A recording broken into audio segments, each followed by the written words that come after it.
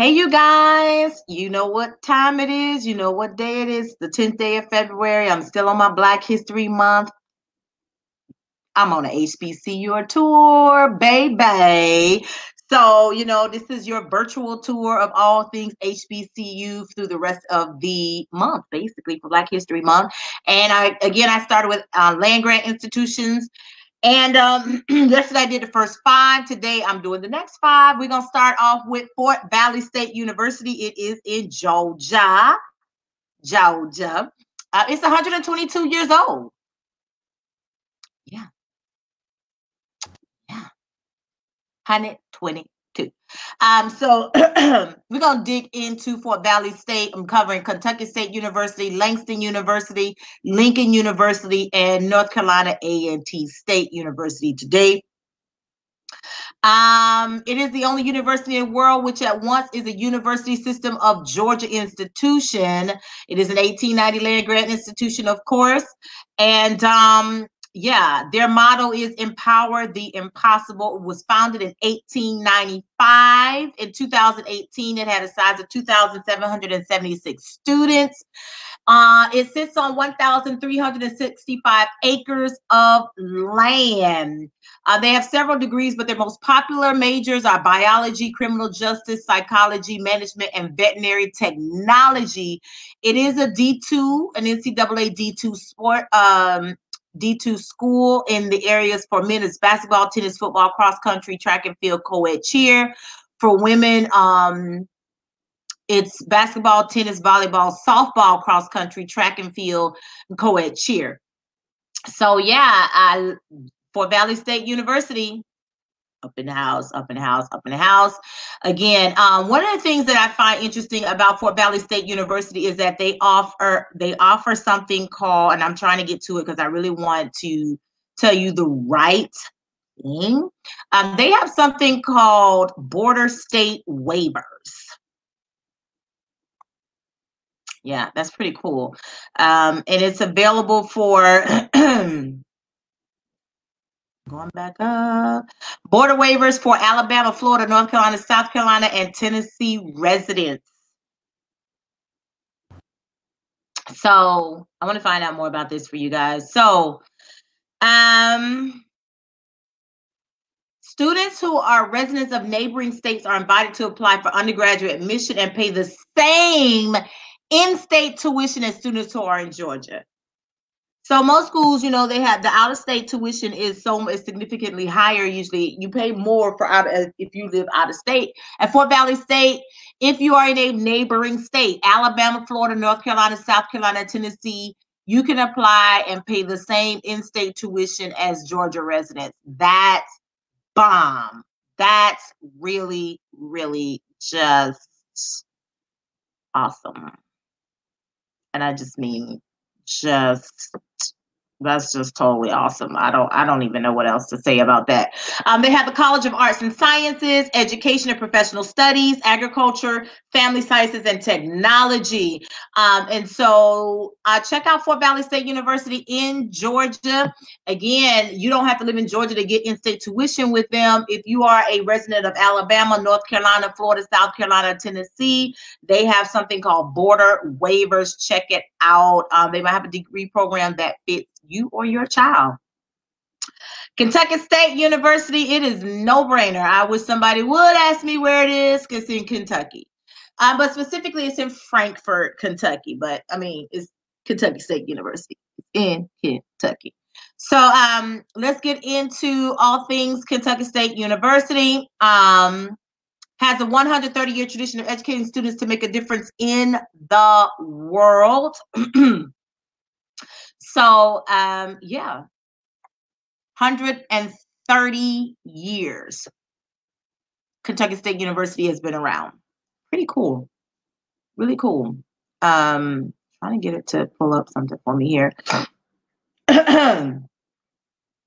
So now uh, the university was chartered in May 1886 as the state normal school for colored persons. Remember, we heard that term yesterday a lot um, when it came to like Delaware State. It was, you know, the the colored term was up in that. Um, you just have to understand 1800s, that's how black people were referred to. We were colored. Um, and so it was the only the second state supported institution of higher learning in Kentucky. Um, so yeah, just a little something. Toward the end of the Civil War, the city donated fifteen hundred dollars, which was a pretty good amount of money in eighteen hundred and eighty six. Um, and so I thought that this really interesting to see how you know you don't know what the government has contributed to a lot of HBCUs and when you start talking about a city that is that is still considered government, they had to get they got funds, and um, it was only again state supported. That's still government. We only think about government in terms of federal, but there's there's city, state, and local, um, and federal. Excuse me. So um, that was pretty cool. Fifteen hundred dollars was a lot of money in um 1886. A lot of money. Um, the first building res- recitation hall, it is now called Jackson Hall, was erected in 1887. The school opened, the new school opened on October 11, 1887, with three teachers, 55 students, and John H. Jackson as the president. So, um, really cool um, information. I like to see stuff like this. Um, the campus sits now on 882 acres of land. It includes, out of that, 311 acres of that is agricultural research farm, and 306 acres are environmental education. It's um for the excuse me environmental education center. It is a public institution.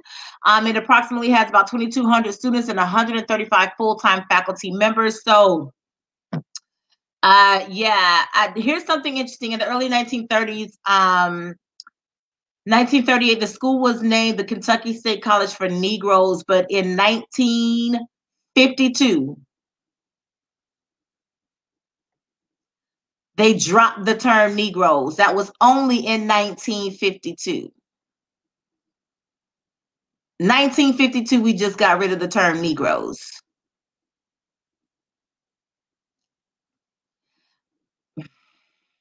1902, the name changed from um, to Kentucky Normal Industrial Institute for Colored Persons. It changed again in 1926, 1930. It changed 1938. It changed again. 1952. It changed again. In 1972, it became Kentucky State College. Well, I'm sorry. It came. It went from Kentucky State College to Kentucky State University. So again, the the term Negroes and a lot of stuff from our past, that wasn't that long ago. It really wasn't. It really, really wasn't. So I don't want to get into that. Um, what are some of their degree programs? Let's get into it.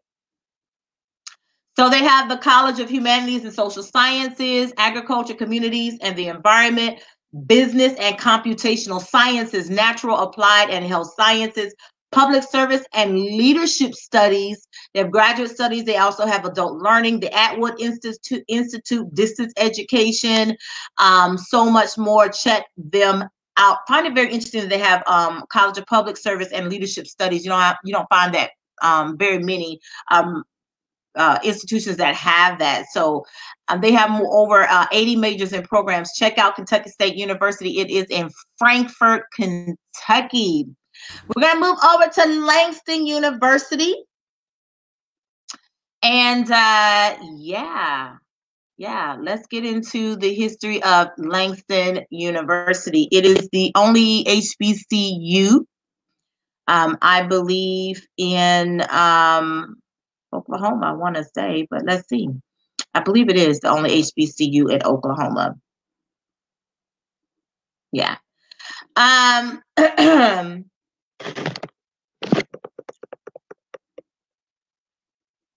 I'm trying to get to it, you guys, I promise. Um, yeah, it is the only HBCU in Oklahoma.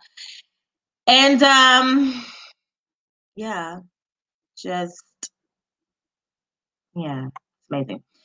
Um, I don't want to see this page because this is a little bit confusing. Um, there's so much here and it's just not in order. Um, April 22nd, 1890, Langston City was officially established. Um, and the city of Langston had a population of 600, had 25 retail businesses in 1892, the year in which a common school was built and opened with an enrollment of 135 people.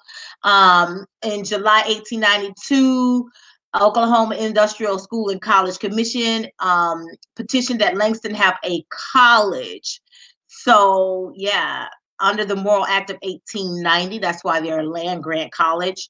Um, on March 12, 1897, the Colored Agriculture and Normal University opened. Again, that term colored comes up again. So yeah, that's how Langston University kind of really got its start.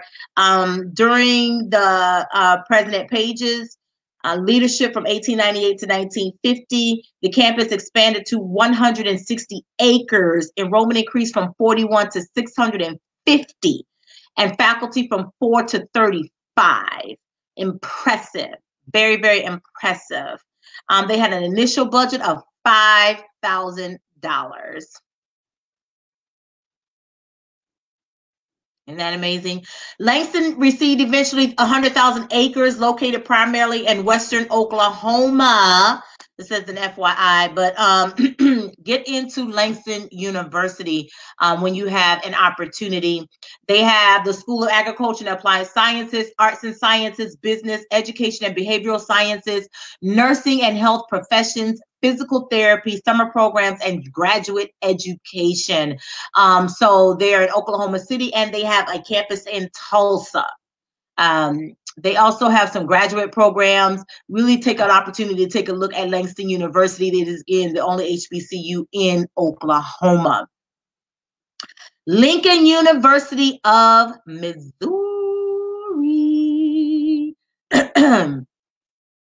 Remember again, we're still on land grant institutions, and there are 19 of them. There are over 100 HBCUs. So yeah, we have a lot. So again, I just wanted to start with like the first 19 that are land grant institutions because they're, you know, 1800s, um, some of the older ones, and just just letting you know what those programs are.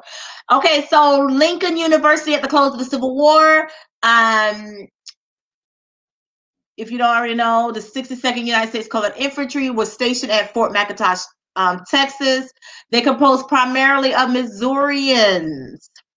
So they took steps to establish an educational institution in Jefferson City, Missouri, which they named Lincoln Institute. So um, they contributed $5,000. Again, that was a lot of money back then. And um, it was supplemented by approximately $1,400. On January 14, 1866, Lincoln Institute was formally established. And um, yeah, on September 17, 1866, the school opened its doors to the first class in an old frame building in Jefferson City. Um, so amazing. In 1870, they began to receive aid from the state of Missouri for teacher training.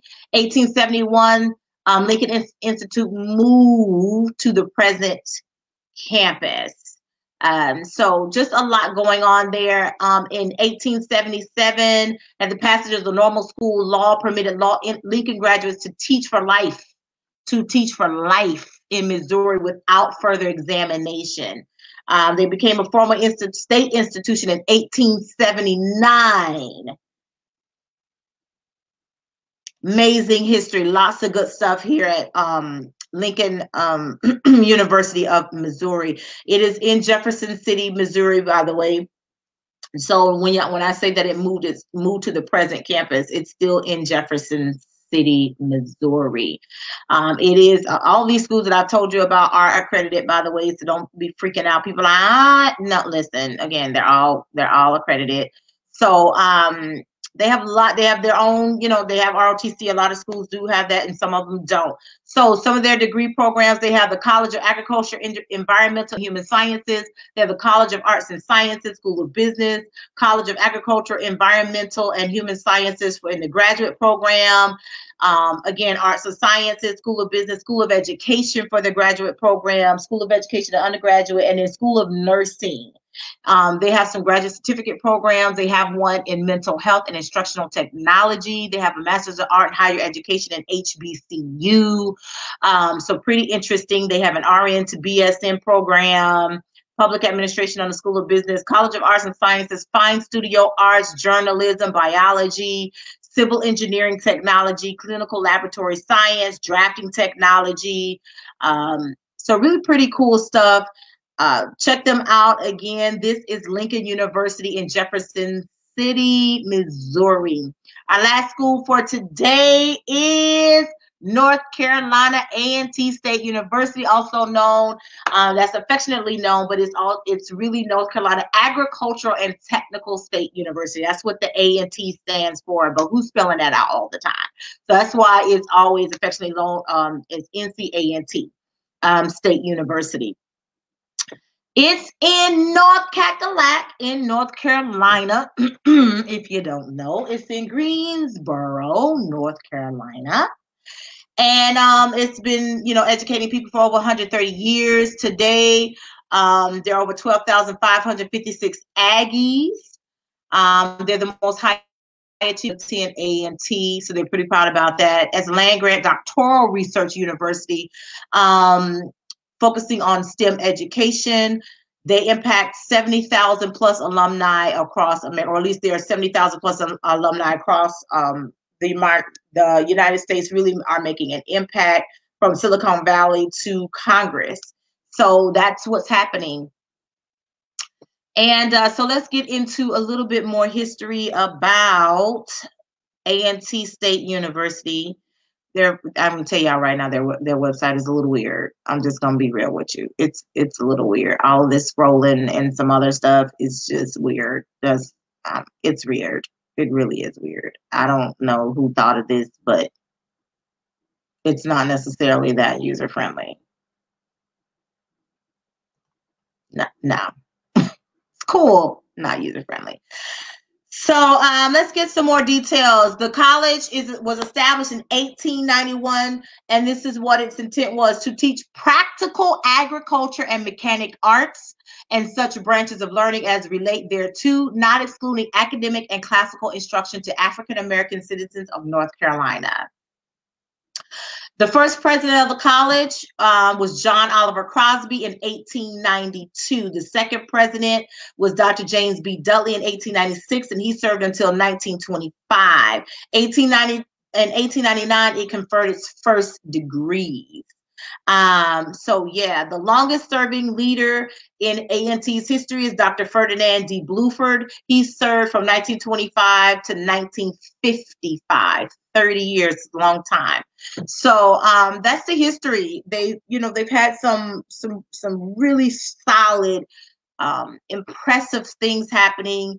I, what I want to I tell you is again, y'all, we're always talking about, oh, that was so long ago. A lot of stuff was not that long ago. It really was not that long ago. Remember, I I opened Black History Month talking about the um four students at the sit-in, the, the sit-in in Greensboro. Okay, y'all gotta we gotta get into it and really realize that this stuff was not that long ago. 1960 was not that long ago.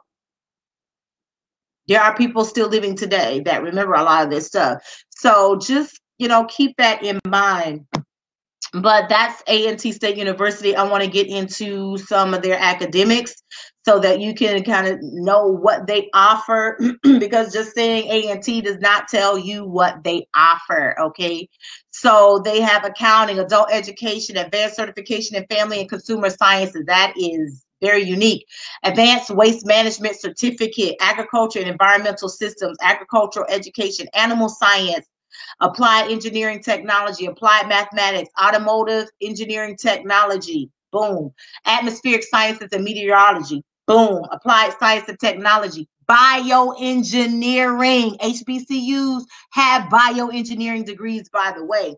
Biological engineering, biology, built environment. That's that's in their College of Science and Technology, business admin, business information technology, child development, and family studies chemistry, chemical engineering, civil, architectural, and environmental engineering, computational science and engineering, computer science, computer engineering, construction management, criminal justice, electronics technology, economics. I mean, it just goes on and on. Family and consumer science, uh, food nutritional science, graphic communication systems, industrial and systems engineering, journalism and mass communication, kinesiology, laboratory animal science, landscape architecture, leadership studies, that's in their College of Education, liberal studies, management, management information systems, um, music, nano engineering. They also have a nursing program, physics, occupational safety and health, professional theater.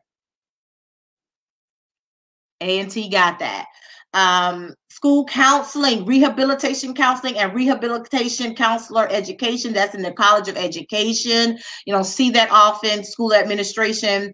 Um, they, of course, they have social work, sociology, speech, supply chain management, teaching, technology education, technology management, and visual arts and design. They got some programs and degrees for you. That's all I'm saying. So, those are today's five land grant HBCU institutions. Check back tomorrow, and I'm going to give you another five. Have a great day. Remember to spread lots of love and light on this 10th day of Black History Month.